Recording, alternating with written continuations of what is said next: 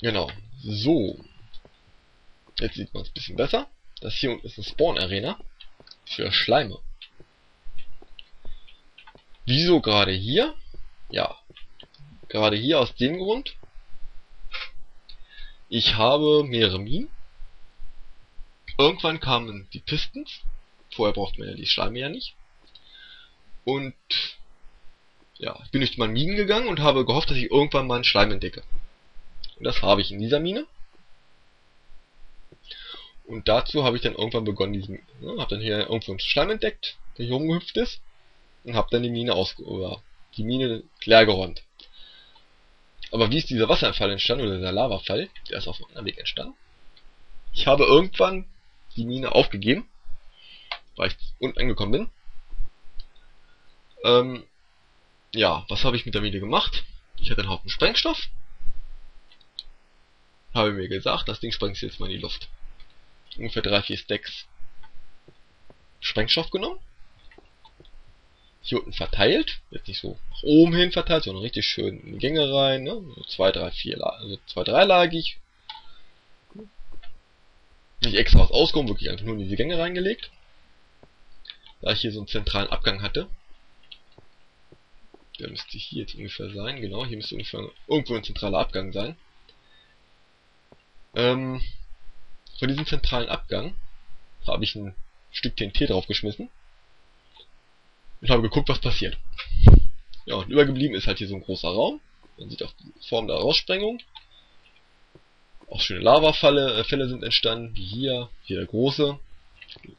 Unter anderem sind Sprengladungen auch eigenartige Wege gegangen und haben sich extrem weit entfernt von der Hauptzündung und sind dann hinten irgendwo explodiert. Oder auch hier, sieht man's, wie hier ein Stück rausgesprengt wurde, oder auch hier. So. Da ich ja schon erwähnt habe, dass ich diese Karte zum Download anbiete, werdet ihr hier diese Karte selber erkunden müssen, weil dieses, diese Mine enthält ein kleines Geheimnis. Das Geheimnis ist hier in der Mine versteckt. Ich würde es euch auch gerne zeigen, aber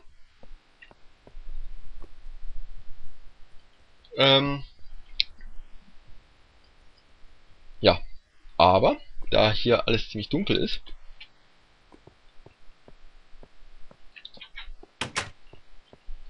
ne, wie man jetzt hier sieht, wäre das Beeindruckende davon weg. Also werft ihr das selber erkunden, das Ganze. Oder ich euch hier Lage nicht mehr viel zu zeigen habe, fahren wir wieder nach oben.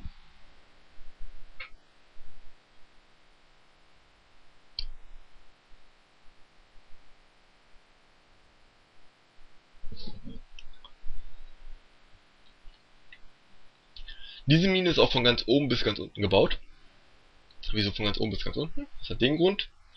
Ich wollte wissen, auf welcher Ebene ungefähr was vorkommt. Das heißt Kohle, Eisen, Gold, Diamant, Redstone. Das heißt, ich habe es nicht im Internet nachgelesen. Ähm, irgendwann habe ich es dann nachgelesen und habe dann wirklich angefangen, nur noch auf Ebenen zu buddeln, die mir sinnvoll erschienen sind. Weil Eisen habe ich dann irgendwann aus diesen Höhlen geholt, die hier überall auf Karte verteilt sind. Und äh, dann war, blieb also noch Gold, Redstone und Diamanten über und dafür braucht man nur noch auf einer bestimmten Ebene buddeln. So. So viel zu diesem Wasserhaus. So, noch eine Ebene höher. Man merkt, ich war schon eine Weile nicht mehr hier. Als nächstes möchte ich euch das Minecraft-System, äh, Minecraft-System schon wieder, sorry, den Hexer 2.0 vorstellen. Dazu, ja, haben wir das mitgenommen, stellen die Weiche um auf Hexer 2.0, die Weiche ist umgestellt, steigen ein, drücken Taste und fahren los in den dritten Bauabschnitt, oder den letzten Bauabschnitt, genauer gesagt. Dritter Bauabschnitt ist nicht unbedingt, aber letzten Bauabschnitt. Von diesem Minecraft-System, muss ich dazu sagen. So. Hier sind wir beim Hex, beim Bauernhof des Häcksler. So, gehen wir mal weiter tiefer. Hier ist der Sammelraum. Hier ist ein endlicher Brunnen. Äh, ja. Na, Sammelpunkt, wenn man hier so stand, kommt man von hier was bekommen und von hier. Der Unterschied ist, Das Ding ist in einem Berg gebaut, der nach oben sich erstreckt. Das Ding ist nach unten gebaut. Und trotzdem ist der Sammelpunkt auf der gleichen Ebene. Ich werde euch gleich auch zeigen, wie das funktioniert. Aber erstmal gehen wir in diesen Häcksler. Wenn ihr eine meiner alten Folgen angeguckt habt, oder meine zweite Folge, oder die Festung, oh, gibt's doch gar nicht, die Festung angeguckt habt, dann werdet ihr festgestellt haben,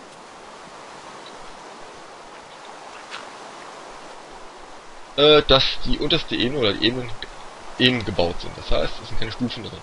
Das Ding hier besteht aus verschiedenen Ebenen, oder ist stufenweise angelegt, um halt diese Sprunghöhe zu gewährleisten, dass die nicht alle rausspringen können, die Monster, wenn sie mal drin sind.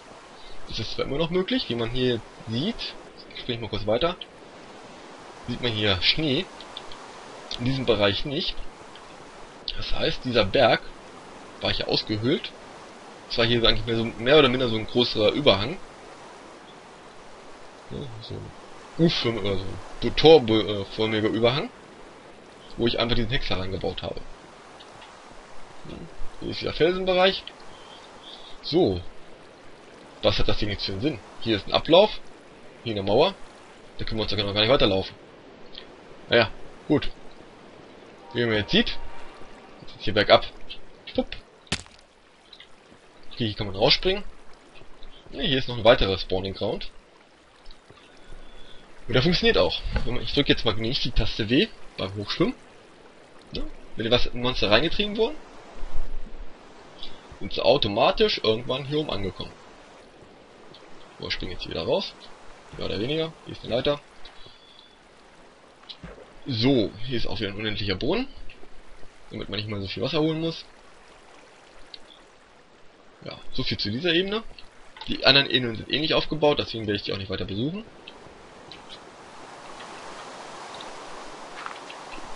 Dieses Ding hat einen äh, Sinn. Und zwar ist das für Spinnen gedacht.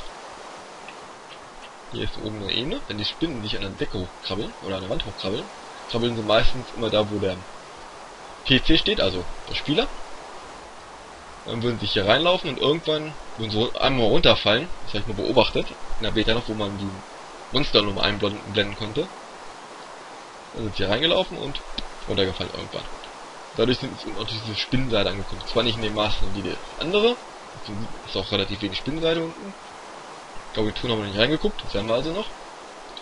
Ja. Um das Ganze hübsch zu halten, habe ich gesagt, ich versuche das Ding ein bisschen einzuhausen mit viel Dreck.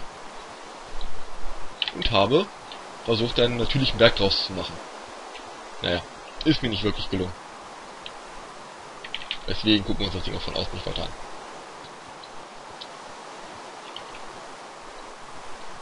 So, gehen wir weiter.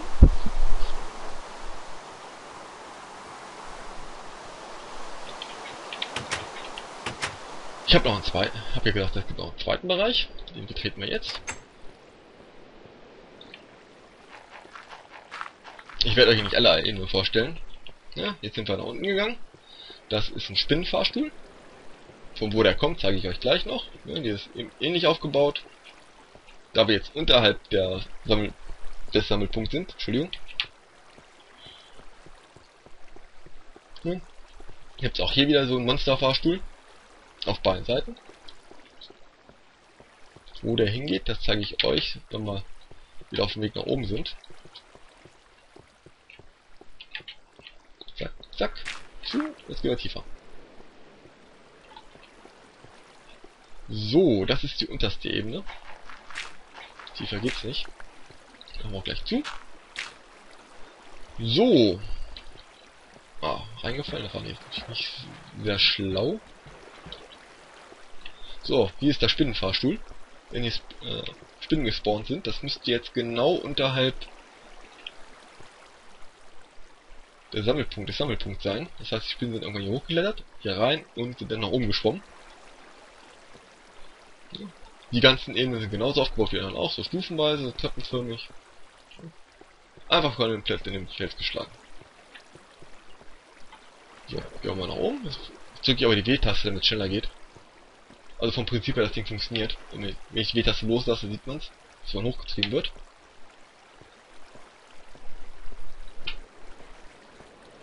Ja, man kommt von dem anderen, von der anderen Spawning Ground kommt man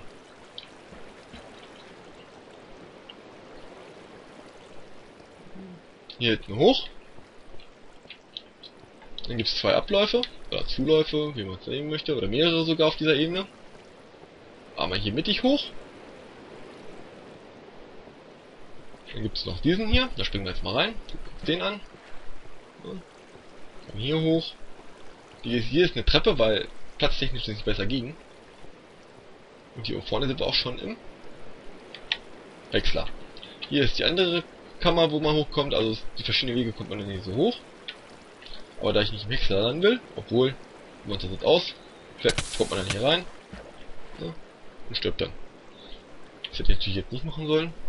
Ist egal, scheiß aufs Glas. Das war jetzt auch unklug, das machen wir wieder weg. So. Ja, machen wir die Tür wieder zu. So, hier sind die einzelnen Truhen, die Sammeltruhen, hier sind Knochen drin, Federn, wo noch Federn fallen gelassen wurden von den Monstern, äh, von den Zombies, Pfeile und die Fäden, beziehungsweise Strings ja, von den Spinnen. Hier ist auch noch Sprengpulver, also falls ihr die Karte downloadet. Ja, bisschen Sand dazu und ihr habt Sprengpulver. Einen Ofen, eine Werkbank, was man alles so braucht hier. So, das war die Vorstellung des Hexlers 2.0. Fahren wir wieder zurück. Ja, was könnte man euch denn während der Fahrt erzählen? Tja, mir fällt gerade ehrlich gesagt nichts ein.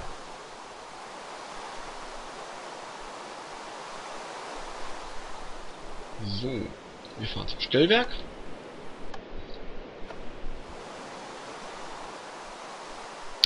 Ich werde die Aufnahme 1 fortsetzen. Das heißt, ich werde jetzt definitiv noch den Bauernhof vorstellen. Und den Hafen. Das heißt, es wird eine Aufnahme werden. Ich werde es dann irgendwie untergliedern. Wie ich schon erwähnt habe, habe ich zurzeit immer noch nur 15 Minuten zur Verfügung. Äh, das heißt, die, Folgenlänge wird unter 15 Minuten bleiben. Falls wir jetzt irgendwo auftauchen, das heißt, wir fahren jetzt Bauernhof, fahren wir erstmal hin. Ähm, Ne? Falls wir jetzt irgendwo im Gebäude sind. Ich werde die Aufnahmen versuchen so zu schneiden, dass die Gebäudevorstellung zusammenbleibt und dann so bei Wechseln von Gebäuden äh, ein Schnitt existiert. Ich kann es nicht versprechen, ich versuche es einfach nur. So. Ah, hier ist eine Huhn lang gelaufen. So haben wir gerade gesehen, den Felsen. Den Tunnel habe ich direkt durch den Felsen getrieben. Hier haben wir ein Weichensystem. Das Minecart nehmen wir mit. Ja, hier habe ich mich auch ein bisschen am Stil versucht. Holzdach, gucken wir uns mal von au außen an. Ja, eine Holzbrücke, da ist eine Steinbrücke, hier geht es zum Hafen. Ja, relativ flaches Dach gehalten. Das Gebäude ist ein bisschen höher, weil hier auch ja, hier sind noch Reste vom Booster-System, vom Minecart. Vom alten System. Ja, deswegen das Gebäude auch höher gebaut. So, das Ziel ist hier ungefähr gleich gehalten, das heißt ein Grundgerüst aus Holz mit Cobblestone zugesetzt und Holzdach. Ja, hier ist das Bauernhaus, so ähnlich aufgebaut, nur dass das Ende mit Treppen gebaut ist. Also das Ziel ist ungefähr gleich. Ja, versucht ein bisschen symmetrisch aufzubauen, die meisten stehen auf Symmetrie, ich übrigens auch. Aber ich habe auch nichts dagegen, wenn mal sowas äh, entsteht. Das gehört halt einfach mal dazu, weil es kann nicht immer hundertprozentig symmetrisch sein. Weil hier ist die Küche. Es würde ein bisschen doof aussehen, wenn man einen Glasbaustein hat. Ich habe es versucht, ich habe den Glasbaustein weggenommen. Es sieht besser mit Stein aus. So. Hier sieht man die Einrichtung. Ich habe mir wirklich ein bisschen Mühe gegeben mit dieser Einrichtung. Also, das war das erste Gebäude, wo ich gesagt habe, hier muss auch eine Einrichtung rein. Hier habe ich ein Bett, ein Doppelbett mit Truhen, Nachttische, viele Wolle, natürliches Bad. Das habe ich nicht weggemacht, das habe ich ein natürliches Bad draus gemacht.